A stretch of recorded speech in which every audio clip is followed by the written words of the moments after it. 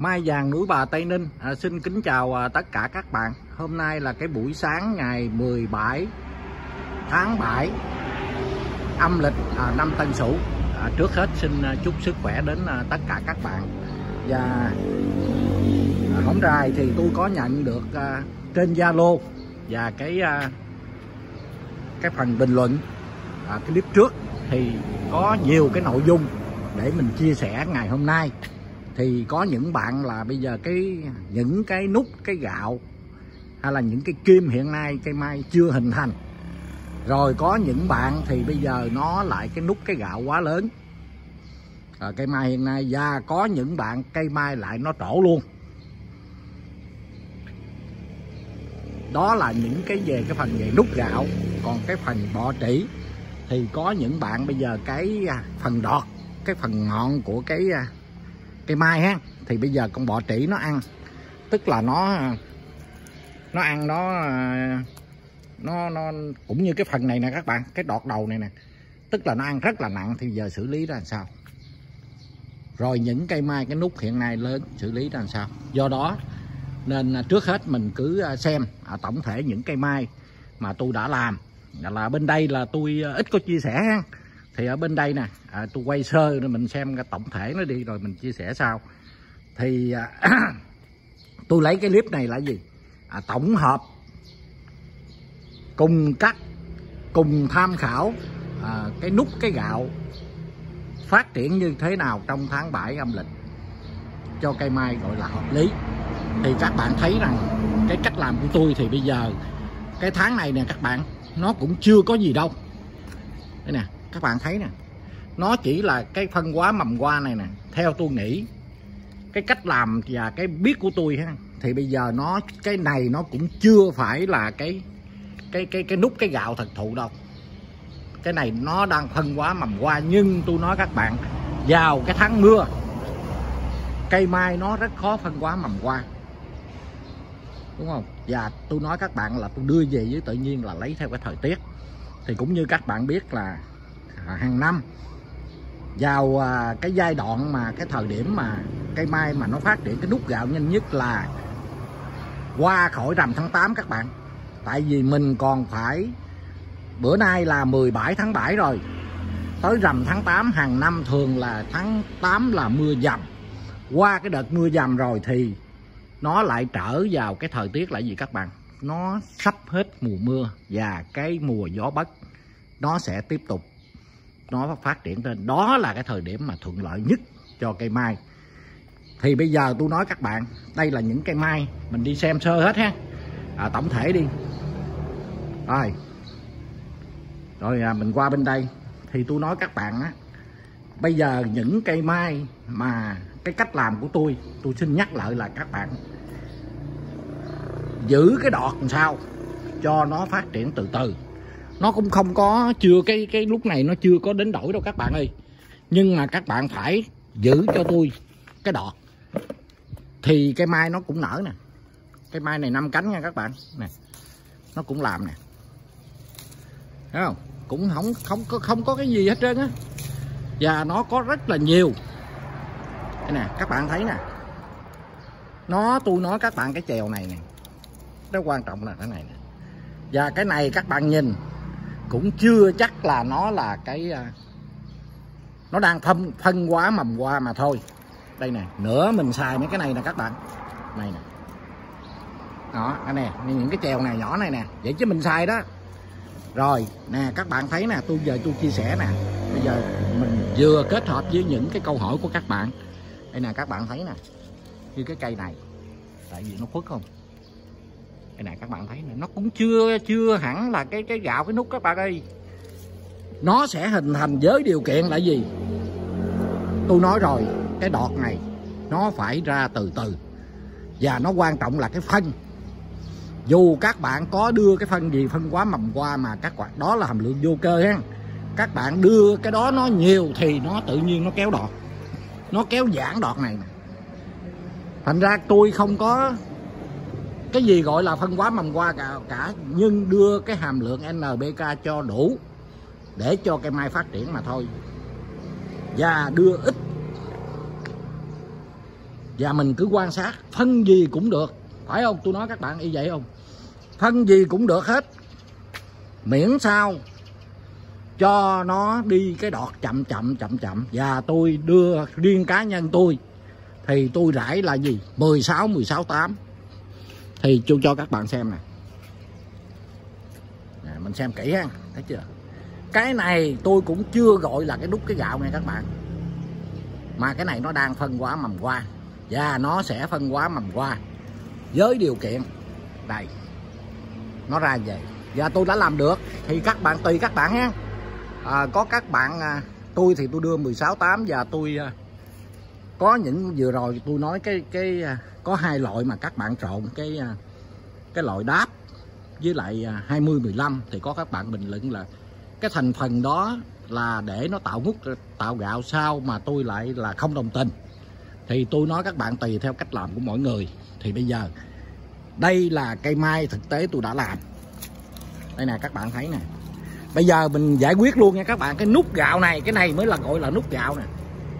Nhưng mà nếu cây mai mà cái nút cái gạo lúc này nó dày là coi như tháng 10 là nở. Các bạn thấy không? Nhưng các bạn cứ yên tâm, tôi giải quyết luôn nè ha.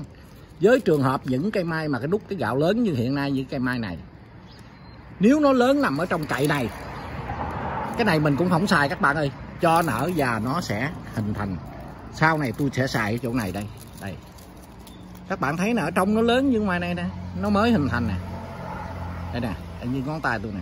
Từ từ ha phải không các bạn? Và đây nè. Nó sẽ hình thành dài ra ngoài này. Và cái này nè, mới quan trọng đây nè. Các bạn thấy đây nó có cái nhánh chèo nè. Cái này nó sẽ tiếp tục nè các bạn. Ha. Và một lần nữa tôi nói các bạn, bây giờ giải quyết luôn cái phần nếu cái nút cái gạo y như cái trường hợp hồi nãy. Đây. Nếu ra vậy là bình thường. Cái nút này nó sẽ nở vào tháng 10 tại vì cái cây này, tôi nói các bạn mình xài cái bông từ ở chỗ nào thì khoảng phải ở ở ngoài này không? Chứ mình đâu có xài trong này. Nhưng cái này nó còn ra nữa nè. Nó ra tắt nữa thôi. Thì tết nay mình dạt sơ nhẹ lại cái thì mình lấy những cái phần này bên trong. Còn cái phần ở trong cậy này mà nó lỡ có lớn quá thì đó là bình thường. Không cây mai nào mà nó phát triển đồng đều hết. Và chính cây mai này là cây mai tôi sạc tàn thửa, sửa dáng luôn ngày mấy các bạn? 10 tôi nhớ rõ luôn là 13 tháng 2 âm lịch. Và cái cây này tôi chính tôi tác động. Sửa thì ngày hôm nay vậy được rồi. Thì bây giờ nói lại đó là cái phần nút lớn ha các bạn. Còn bây giờ, nếu mà, đây nè, các bạn thấy nè nữa nó ra chèo này nè.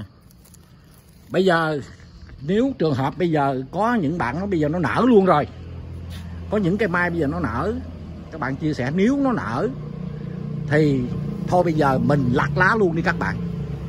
Nở nhiều nghe. Bây giờ tôi nói cho rành nè, và các bạn cùng tham khảo chia sẻ coi. Đây nè, cái mai tôi hiện nay ra nè. Tôi thấy như vậy là là là được ha. Nhưng mà tôi nói các bạn một lần nữa, từ rằm tháng 8 đổ lên, nó tạo nút tàu gạo rất nhanh tới tết luôn. Và cái nút già lớn thì nó ra được sáu, một cái nút nó ra sáu cái bông bảy cái bông. Nút nhỏ nhỏ ra bốn bông nút nhỏ nhỏ ra ba bông nhỏ nhỏ ra hai bông một bông. Và cái này nó ra tới đây các bạn cứ yên tâm. Giữ làm sao? Cho cái lá ha cái đọt này nó phải ra. Cũng như những cái trường hợp bây giờ nút lớn.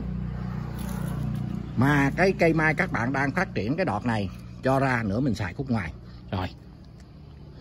Còn có bạn nói là bây giờ cái nút à, cây à, trong cái bình luận như rồi cây mai các bạn nở nở à, bung hết.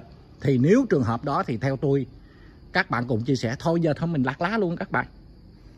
Đôn nhẹ lại lặt lá luôn. Nếu nó nở đó là do mình làm. Nó sốc nước hay là cái nguyên nhân gì đó, thì bây giờ thôi, bây giờ mình không nói nguyên nhân nữa thì mình giải quyết cái đó đi. Đúng không? Nếu nó nở rộ nguyên cái phần trong, thì mình lặt lá đi. Bỏ đôn nhẹ lại lặt lá. Rồi. Đó là theo cái ý tôi thì các bạn chia sẻ. Và có những bạn bị cái đầu này nè con bò trĩ. Nó ăn á, là là coi như cái nó rệp cái đầu này luôn. Thì ở trong này nó còn ha lá xanh. Thì bây giờ làm sao các bạn? Nếu các bạn để thì nó sẽ cái đầu này nè. Thí dụ nó ăn một khúc vậy mà các bạn để quá nặng ha thì cái đầu này nè các bạn. Nó sẽ sau này nó sẽ không làm bông trong một cái khoảng như cái tay tôi nè và các bạn nuôi cái đầu này ra nữa thì thôi, theo tôi cắt luôn cái này đi. Rồi mình cho cái đọt mới nó ra và mình ráng giữ con bò trĩ từ đây tới tết. Đừng để cho, thí dụ mình phát hiện con bò trĩ thì mình lo mình trị đi. Đừng để cho cái bạn chia sẻ là hỏi tôi á, thì tôi à, chưa có trả lời, bây giờ tôi trả lời luôn ha. Thôi mình nếu nó nặng quá, cắt cái phần này luôn đi bạn ha. Rồi, nuôi lại chế độ cho nó ra đọt này tết vẫn có bông thì đây là mình chơi mai nhà nha. Mình giải quyết theo mai nhà chứ mình không giải quyết theo cái kỹ thuật của anh em. Đó là hai cái vấn đề. Hồi nãy là cái cái nút, còn cái nút mà bây giờ nó chưa trường hợp mà cái nè tôi cũng có nè. Thí dụ cái này là mình toàn bộ là nó chưa có gì hết. Đây, cái phần này. Nhưng mà mình xài nữa, mình xài cái phần này nha các bạn chứ không phải là xài cái phần trong này ha. Cũng xài, nhưng mà nó không bằng cái từ cái phần này đỡ ra. Và nó sẽ hình thành của tôi cũng chưa có cây mai. Tuy là ở trong thì nó có, ha. Nhưng mà ở ngoài này đa số nó cũng nằm vậy. Và tôi nói các bạn yên tâm. Các bạn nếu các bạn tin tưởng tôi thì các bạn giảm cái phần lượng vô cơ thiệt là ít thôi. Tức là tôi rải 16 8 á. Thiệt là ít. Đừng xịt cái gì kéo lá, kéo đọt gì hết cho nó ra vậy thì qua tới cái mùa mưa mưa dầm nó tạo đúc nó gạo rất là nhanh.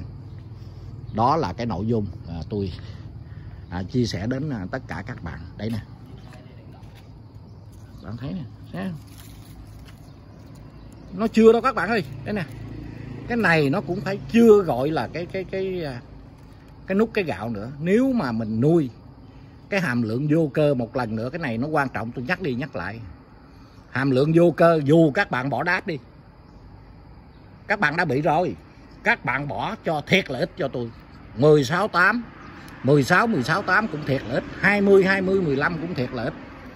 Thì cái đọt nó ra như vậy nè, y như nè. Các bạn thấy không?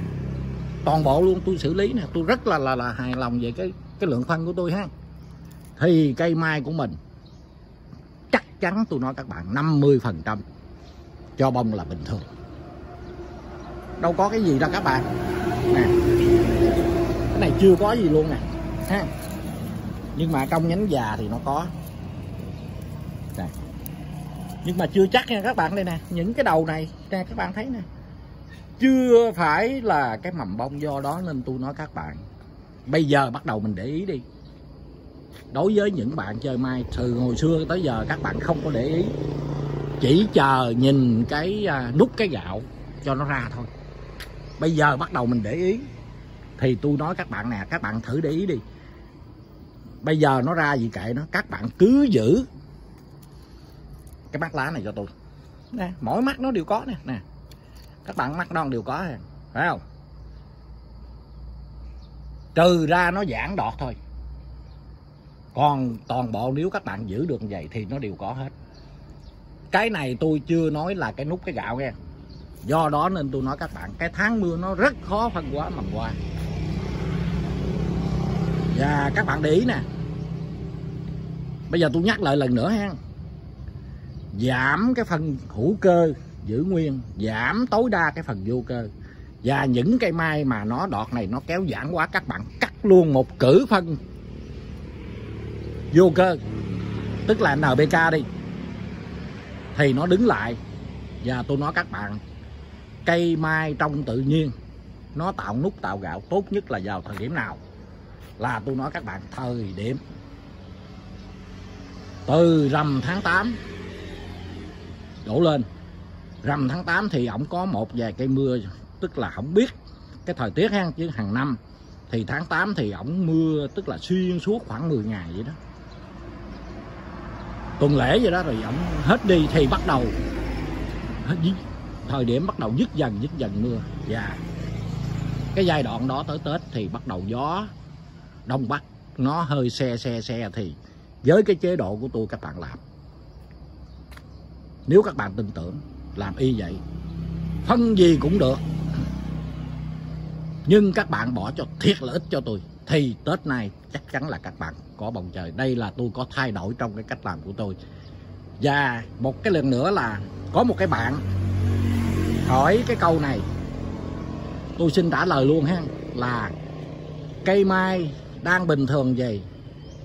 Rớt cây mưa lớn, thật là lớn. Hai, ba ngày sau thì cây mai đó đổ lá lồng. Tức là vàng, cái cái là vàng lồng nó nó nó nó rụng đi. Nếu các bạn nói là cái gì? Sốc nước, tức là thiếu nước đó do đó nên tôi nói các bạn cái quyết định là cái chánh là nước. Đúng không? Cái chánh là nước. Mà các bạn cây anh bạn này đã bị thiếu nước. Các bạn tưới cho là không đủ. Thì khi mưa xuống thì nó nó, nó đầy nước trở lại thì nó sốc cây đúng không? Thì mình tránh tôi nói các bạn. Cái bí quyết là gì? Tết có bông là nước. Dù các bạn đưa phân như thế nào không biết mà các bạn tưới đầy đủ nước. Bông nhiều ít tôi không biết còn lá còn bông các bạn sẽ có cái bông trời.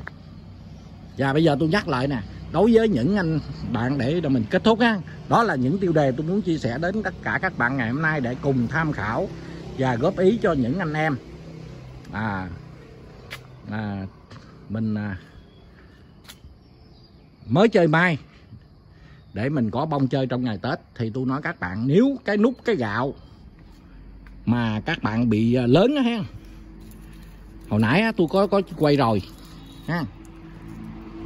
Các bạn thấy nè cái mai này nè, thấy nè cái này cũng chưa phải là nút gạo đâu nè các bạn thấy nó nhọn đót nè. Nhưng các bạn nè các bạn thấy này dài lên nè. Nó lớn cái nút nó nó từ trong nó ra ngoài cỡ cái khúc này nè tôi nói các bạn cỡ nó lớn cũng không sao hết trơn á. Cho nó nở mình xài khúc này. Và đây tới tết nó còn ra nữa và quan trọng là tôi nhắc lại nữa là các bạn nhớ nè. Cái nhánh kèo này bây giờ nó cái nút cái gạo nó chưa xuất hiện nè thành ra bây giờ nói như thế nào là hợp lệ, tôi cũng cũng cũng tôi nói các bạn. Nó chưa. Và cái này nè, tết nay nó có bông trong này, dài ra nè. Cái này nè. Tôi nói các bạn nó dài ra như đây nè. Và nó cái kẹt này, các bạn đeo đúng chế độ thì hai cái nhánh này, nó sẽ tạo gì? Cái nút, cái gạo. Nó đặt cây mai mình là do cái này. Và những cây mai mà cái nút, cái gạo các bạn nếu là lớn một phần ở bên trong, thì các bạn cứ dưỡng cho cái đầu đọt này nó ra ha, ra nhưng đừng cho nó kéo cái mắt này. Thì mình xài khúc này khúc đó cho nó nở. Đó là những gì mà tôi cũng như vừa chia sẻ cái khái niệm để cho các bạn yên tâm. Và à, một lần nữa tôi nói các bạn từ rằm tháng 8 đổ lên nó sẽ tạo nút tạo gạo rất là nhanh. Đây bây giờ cái nhánh này toàn bộ là tôi nói các bạn là chưa có nè. Thấy không? Mà cái này nếu nó không, tết này không có thì lấy gì chơi? Nó có từ cái chỗ này đây nè, một nè, hai nè, ba nè, bốn nè, năm, sáu, bảy nè. Nó chỉ ra vậy thôi, ra cho tôi khúc bông vậy thôi. Thì nó đặt là cái nhờ cái này đó các bạn. Thấy nè. Cái này nè, cái nhánh cái nhai tay tôi chỉ chỉ nè. Chỗ này nè. Đúng không? Nó ra. Và hiện nay, tôi nói các bạn, mình còn điều chỉnh được cái đọt là gì? Nếu cái đọt này nó hơi giãn mắt của tôi thì vừa hen cắt bớt cắt đứt luôn cái lượng phân vô cơ NPK một cử. Rồi mình điều chỉnh cái ngọn ra từ từ thì rằm tháng 8 đổ lên. Nó ra nút rất nhanh trong vòng từ rằm tháng 8 tới rằm tháng 9 rằm tháng 10 là cái nút nó đủ. Thì mình xài à, có bông trong ngày Tết. Đối với những anh em chơi mày nhà đó là những gì tôi muốn gửi đến tất cả các bạn ngày hôm nay. À, xin chào các bạn. hẹn